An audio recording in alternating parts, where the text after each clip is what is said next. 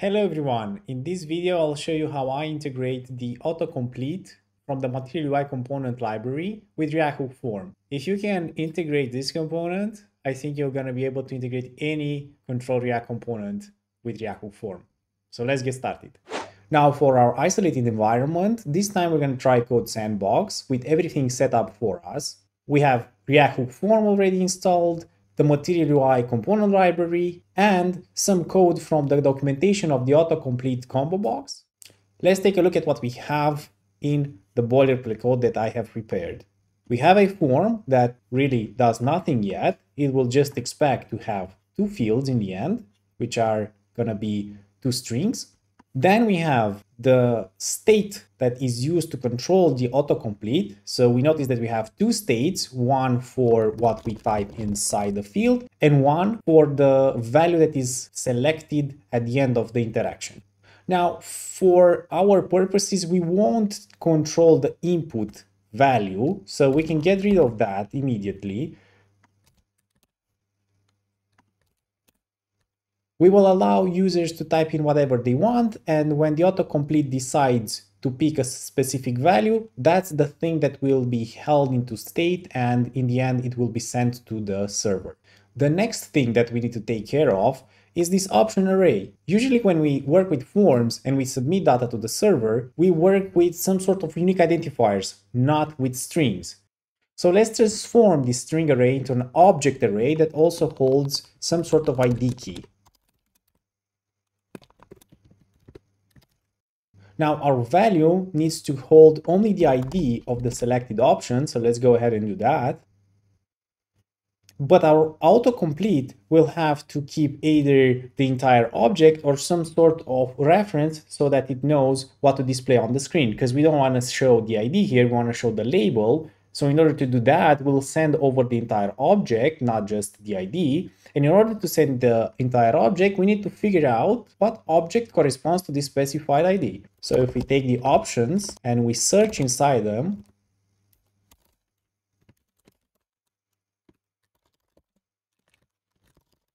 we can attempt to return the option whose ID matches the value that we hold into our state.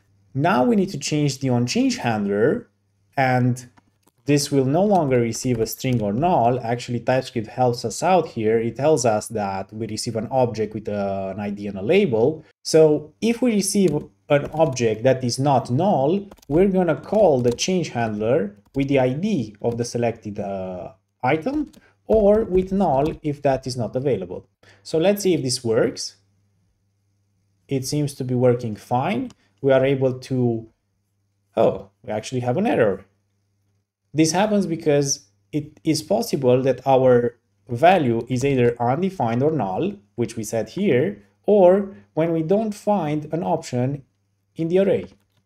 So if value exists, we try to find the selected item.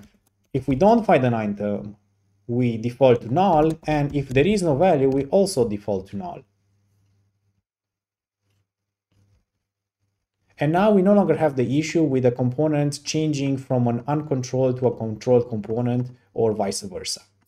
There's actually an additional thing that we need to take care of, and that is what happens if we don't have a label. We have something else in our options. Maybe we have name.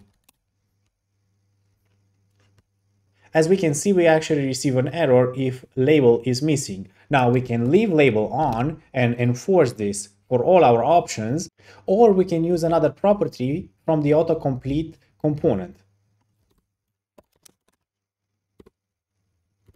Get option label will allow us to specify what key we want to use in order to produce the displayed label onto the screen. Both options work, however, it's probably safe to have this available just in case your data doesn't match the expectations of the autocomplete component. And now we're ready to integrate React Hook Form with our autocomplete. And we're going to use the controller and control object from React Hook Form to achieve that. I'll add a basic controller onto the screen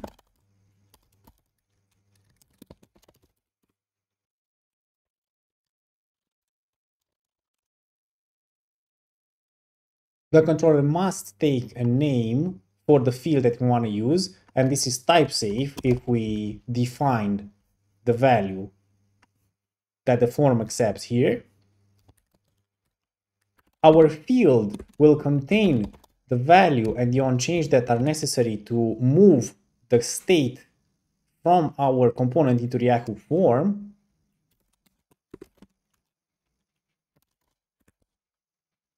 So we can go ahead and copy over the entire autocomplete and replace the dummy input. And all we need to do now is make sure that we hook the on change instead of our local state and things should just work now. Now our value at the top doesn't update because that's no longer linked to the autocomplete. However, it seems to work just fine and when we press submit, the information, the ID of the autocomplete gets passed up to the React form and we're ready to send it to the server. Let's clean up the code a little bit. Let's remove the value that we no longer need. And let's actually add whatever value is in our car maker that we're using, like so. So now we should be able to see something very similar to the original debug message, but coming from the React hook form internal state. Now we still have to work on error handling and focusing the field when it has errors. So let's go ahead and do that. Now notice that we're rendering a text field input for the autocomplete combo box. So we can just go ahead and set the input ref of that text field to whatever we get from our React form field. And in order to show errors, we have available field state, which exposes an error. And for simplicity's sake, let's just add a red text message if we get an error on this field.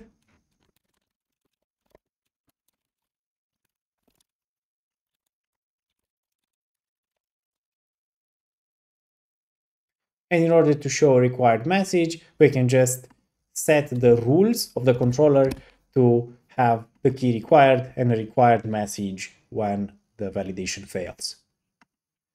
And if we go ahead and submit, we see the er-, error and we also get the focus onto our input. But what happens if we want to have two autocomplete components on the same form and maybe have them have different input data? It would be quite troublesome to copy paste over all this boilerplate code in order to achieve that. So let's go ahead and create a reusable component that will allow us to pass in the options of the autocomplete and then handle everything internally for us. In order to do that, I'll just create a new component here. I'll namespace my React form fields with RHF, and then I'll say autocomplete field.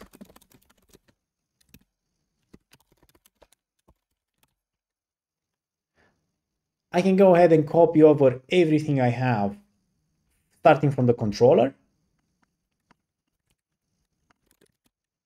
And it looks like we get some syntax errors, which can be easily solved by adding props to this reusable field.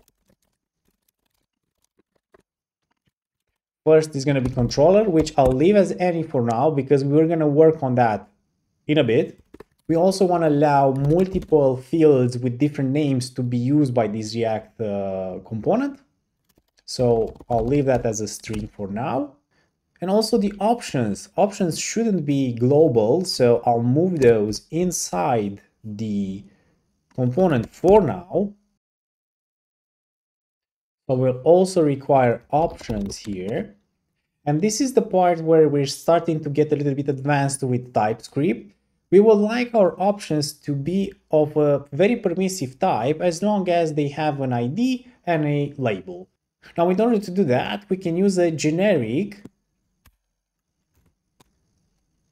So O, the options, extends any item that has an ID and a label.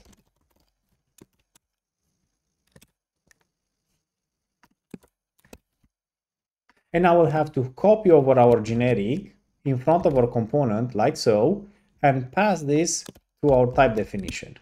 Now we can spread the props and replace our static name with the dynamic value.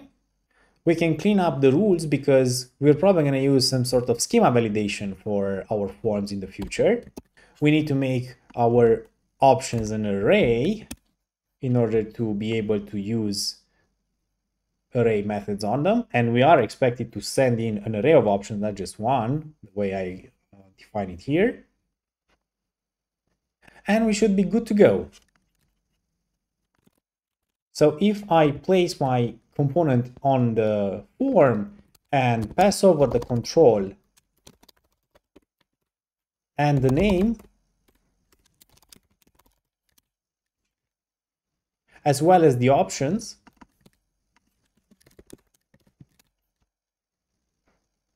we should be back where we started.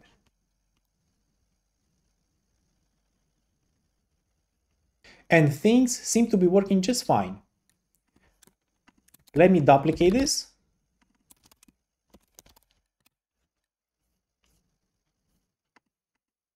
And now we have two independent reusable autocompletes. But there's something not right with the way we're using the controller name here.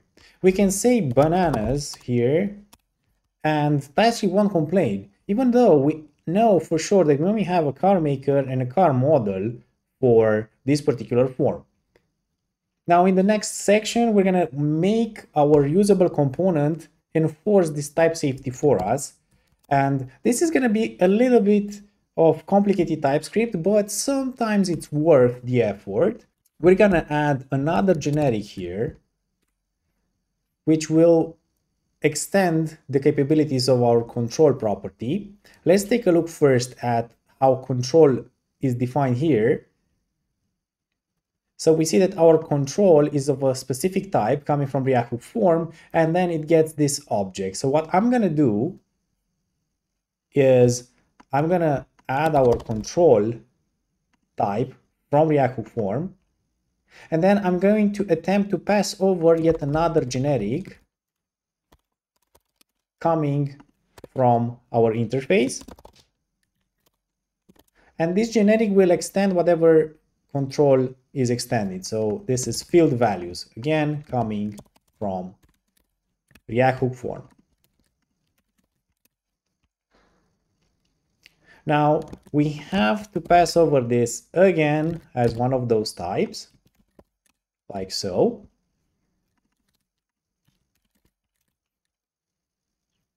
And now we notice that the name is not supposed to be a string, it's supposed to be something called path of field. So our name is no longer a string, it is a path, and you guessed it, path is also a type defined in React Hook form. So we basically passed over or copied over some of the capabilities of our controller, of the React Hook form controller, into our usable field. Now, if we scroll down, we're gonna see that car model, model was typo, had a typo. Now we can see that the car model has a typo because TypeScript cannot find the string in the form fields that we defined here. Now, of course, this ties in nicely with schemas, but we're going to have a different video for that. So let's go ahead and see if we get autocomplete. And there we have it. We actually have autocomplete ready for us. So that's it, folks. That's how we can create a usable autocomplete component. That's how we actually can create any control component wrapped with a controller with React Hook form. So I can just go over and copy this into a different file and we're good to go.